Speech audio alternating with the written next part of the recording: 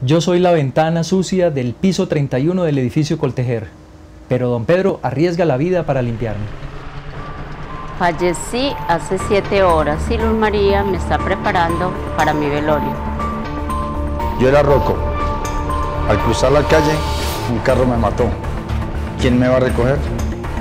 Yo soy el excremento de Salar Elefante y Berta ya viene a recogerme.